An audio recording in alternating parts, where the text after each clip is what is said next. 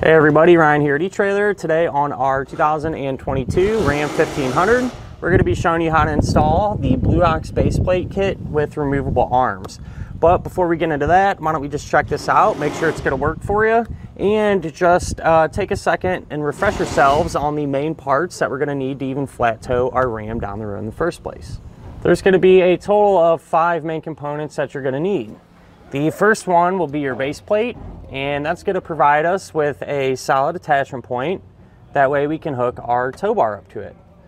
Tow bar is going to be the second component, and that's going to be the physical link that actually connects the front of your vehicle to the back of your motorhome. Third main component will be your safety cables, and these are there in the event of an unlikely disconnect. They're going to keep everything paired together. The fourth main part will be your tow bar wiring, and what this will do is transfer the lighting functions from the back of your coach to the back of your pickup, uh, keeping you safe and legal. And last but not least, the fifth main part will be a supplemental braking system. What this is going to do is apply the brakes in your Ram whenever you hit the brakes in your RV, helping to bring you to a more uh, predictable and complete stop. This is what your Ram will look like uh, whenever you have the base plate on and you're not actually hooked up to your motorhome which I do think is important because you're not always going to be flat towing, right? And with this setup, I feel like it's about as good as it can look. Uh, really on the front of the Ram, you don't have a ton of openings and spots where you could put something like this. So uh, these come through these existing holes if you had tow hooks. If you don't have tow hooks, there would be a panel here that you end up popping out, but it'll sit in the same spot and um, essentially be the same thing. I think it's relatively easy to get to um, and it doesn't look too out of place by any means. I do like the fact that they have pre-attached brackets on each side of the base plate, which will allow you to mount up some of your other components like this uh, wiring connector, for example. And that makes it a lot easier because with the space that you have to work, it would be a real pain to try to make a bracket or anything like that. So uh, definitely speeds things up a little bit in terms of getting everything put on and uh, looks a little bit better. Whenever you are ready to use the setup though, uh, it's pretty straightforward and I feel like that's important. You don't want to spend a bunch of time messing around with it. Uh, and that's because it has these removable arms, okay? So you can pull out the plugs that they give you out of the base plate to keep them protected. You pop them out and then you take the removable arm and this is just gonna go into the base plate. You rotate it about a quarter turn like that until it locks in. The other side will be set up the same, and once you have both of them in, this is going to give you the attachment point needed to hook your tow bar up. When you are ready to hook up, you're just going to take the tow bar, line it up, put the pin through, the other pin in there, and that's really about it. This one though, I think I might flip it around just so we have a little more clearance for our electrical connector there. So this base plate will work with uh, most Blue Ox tow bars. You want to make sure you have this three lug type end on yours. Uh, it can work with other manufacturers uh, tow bars as well uh, by using an adapter. There's a lot of different types available, so check that out if that's your case. And even the wiring connector, you know, for given the space that you have to work with, uh, everything's really not too bad to get hooked up.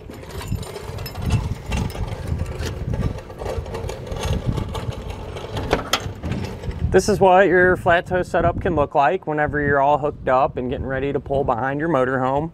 And if I had to suggest one thing, um, it would be to get a tow bar that's a little bit longer in length. And I say that because on our on our truck here, our attachment points are pretty wide, right? Which I feel like it'll help track and keep the truck actually true and going straight behind the motorhome. But since it's a bigger vehicle like this, you know, the tow bar arms are spread apart so far, you don't have a ton of distance in between the front of your truck and the back of your motorhome. So by having a tow bar that's a little bit longer in length, uh, should really uh, help out with that. And there's also one thing uh, I wanted to mention too, which can potentially help with that, and that is the use of a high-low adapter, all right, which is this piece here. So in our case, you know, it extends out from our motorhome's hitch a little bit and makes the attachment point for our tow bar a little bit further back. Um, so that definitely helped there. But this is also going to help make sure that our tow bar rides level because in some cases, even on a bigger vehicle like this, your base plate attachment points are going to sit lower than the hitch on your motorhome. All right, and you want your tow bar to ride level. And so to figure that out, you want to measure from the pinhole there on your base plate down to the ground, and you want to have your vehicles parked something like this, you know, on level ground. Record that measurement, do the same thing on your motorhome. And you want that measurement to be within three inches of each other, right? Um, and there's all different types of sizes available um, that, that you can go from. In our case, ours was about four inches lower, so we used a two inch high low to get everything within that spec. And especially important too on a, on a truck like this, uh, a little bit heavier, you want to make sure that all those components are properly rated to even be able to tow your Ram in the first place. Other than that, at the end of the day, uh, it's a good option for those of you trying to flat tow your Ram. As far as the installation goes, this one really wasn't too bad. Uh, I will say the hardest part is just trying to get the bumper off and putting it back on. It's just tight and pretty heavy. So take your time with that, uh, and it's uh, something you should be able to do. But if you'd like to see how that's done, feel free to follow along. We'll go ahead, pull into the garage, and put it on together now.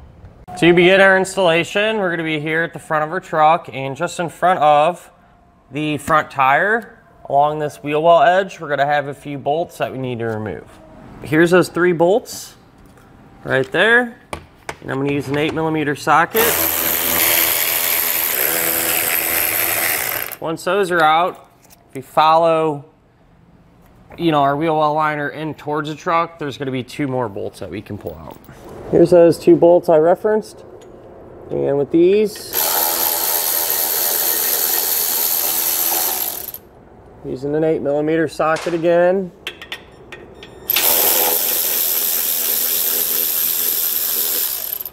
Have that other one out, this will drop down, we can set it to the side. And I want to mention from this point on, anything we do to this side of the vehicle, we'll also do to the other side because it'll be set up the same way. Now if you move underneath the vehicle, you can take off the nuts that are holding on our bumper. So uh, you're going to have three on each side. So one here, one here, and then there's one on the top over there towards the inside of the truck. That's a little tricky to see. Uh, but they're all gonna look the same. 18 millimeter size socket is what I'm gonna grab and we're gonna pull off.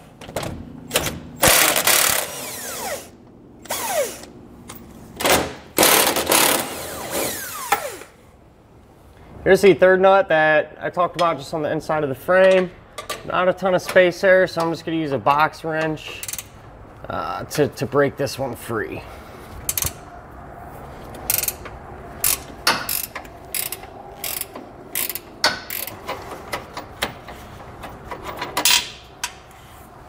Now if we move over here to the driver's side, we're gonna have an electrical connector we need to disconnect. Uh, it's gonna look like this. You're gonna have a red tab that you pull out on that. And then there's a this gray handle and right in the middle of it there's a black tab as well. So you push down on the black tab, lift up on that handle, and that should be all we need to disconnect it. Get them two separated like that. Now with an extra set of hands, we can get our bumper off. That should be all the hardware that was holding it on. Granted, you might have to kind of work it around and you know, find that sweet spot to where we can actually get this off. So it seems like if we're lifting up on the bottom first, that seemed to be the trick, but we'll set this off to the side out of the way. If your truck has tow hooks on it, we're gonna need to remove them and these won't be getting reinstalled. But you're gonna have a 21 millimeter bolt. And pull that out. And then an 18 millimeter bolt here.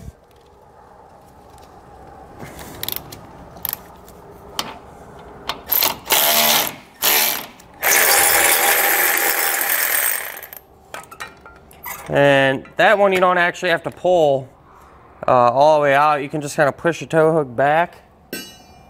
Come to find out, these are gonna have to get uh, pulled out and this uh, rubber bushing piece will have to get removed. A lot of times though, when you loosen these up, they'll kind of just, you know, not want to come out any further. So when that happens, you can take a hammer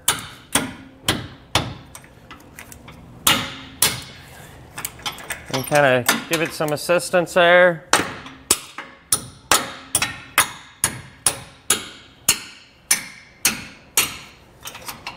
To get it out. And then you can take off that piece and then we're gonna reinstall the bolt. Now we can grab our base plate and get this into position. So these are gonna be side specific. Uh, so check the instructions, make sure you got the right one. And these are just gonna sit on the bottom of our frame rail and then you can take this factory bolt, put it up through there. And I'll go ahead and get it started.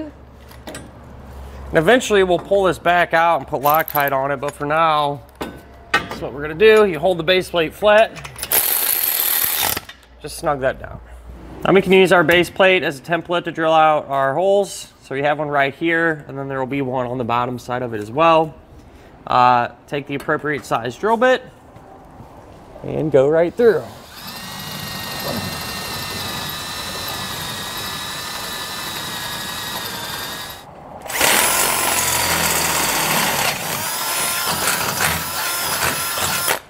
Here's the other opening on our base plate on the bottom of our frame. So we'll go ahead and get this one opened up as well.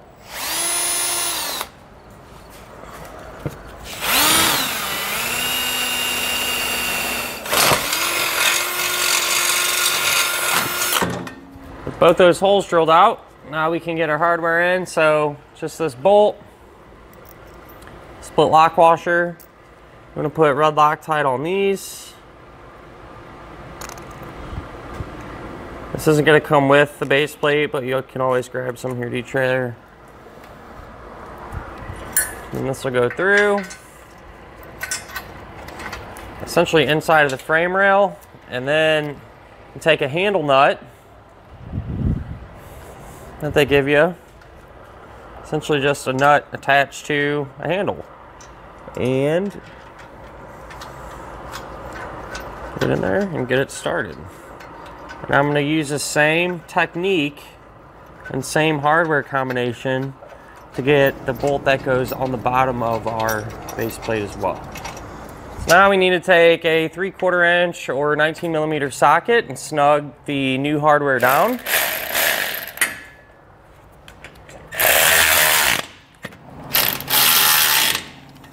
And once those are snug, we'll switch out that 19 for a 21 we'll pull this bolt out that we uh, put in earlier. At this point, you're to put your red Loctite on. Put that back in and snug it down. And finally, don't forget to come back with a torque wrench and tighten down all of the hardware to the amount specified in the instructions. Once all the hardware is torqued, the remaining portion of the handle nut, you can trim that off. So just a good pair of snips. And then what I've done is install the safety cables. So they give you this D-link here. You wrap your cables around the frame and then connect it to the base plate. And then what I like to do is just take some zip ties and kind of zip tie up the, the slack portions of it that way it stays put and it's not gonna, you know, rattle around and clunk whenever you hit bumps. At this point, it'd be a great time to start working on some of your other flat towing components like your wiring and braking system uh, because you got all this extra space to work. It makes it a lot easier. If you already have those done or you're not going to be installing them just yet, uh, you can put the bumper back on and everything the opposite way that you removed it. I do believe uh, there's a little bit of trimming that you have to do to clear the, the base plate, but we'll get to that. Um, if it's necessary, I'm going to get the other parts on and then we'll come back and I'll show you how to actually get the bumper on and how it fits and everything else. Once you have all the other components on the front of the Ram, uh, then like we talked about, we can get our front bumper back on. It does say that these uh, little brackets here, we do need to trim some of that material out so the base plate will clear. So I marked that out. Be careful with this wire here. You know, you don't want to hit that. This is pretty thick metal, so you can use a, a rotary tool, a Dremel, uh, you, you, know, whatever you got to cut through here. Uh, this multi-tool actually is working pretty good for me, so uh, I'm gonna go ahead and get all that material removed.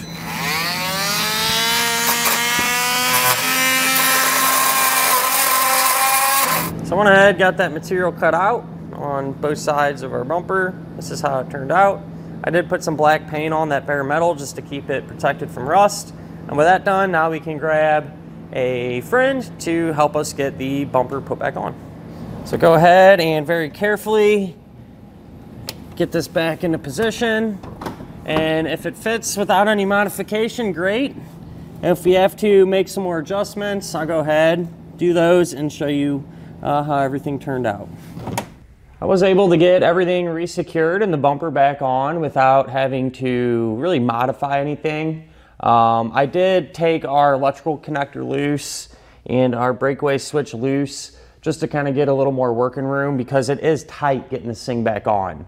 Uh, so you want to get it lined up and kind of push the bottom in and then roll roll it into position there, uh, almost exactly the way we, we removed it.